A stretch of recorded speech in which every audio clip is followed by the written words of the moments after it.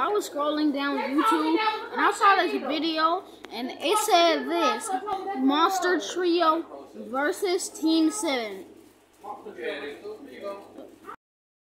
Monster Trio's winning this. I, they're taking a deal. I'm sorry, you Naruto fans, but Monster Trio is winning this. Alright, here's how I can say it. Alright, so Zoro and Son. Well, first of all, here's what can happen. All right, Sanji can take down Sakura. So then he's teaming up with Mon with Zoro, and both of them can take down Sasuke together. And after that, him it's all, the monster trio, and all three of them are no have no wounds, and well, some of them would have a little wounds. And then after that, they're taking on Naruto, the last person.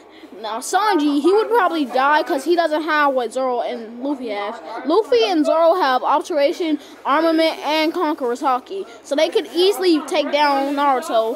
But Sanji would be well, Sanji would do a lot, a little damage on Barry and Naruto, and so. So then it'd be a legendary battle, and like I'm sorry, Monster Trios is winning. That's how they would win. Yeah. So yeah, Monster Trio is taking the deal.